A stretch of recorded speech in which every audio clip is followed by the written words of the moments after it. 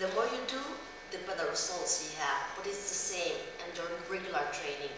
The more you train your body, the more you train yourself, the better you look, the better you are, the healthier you are. It's the same with your.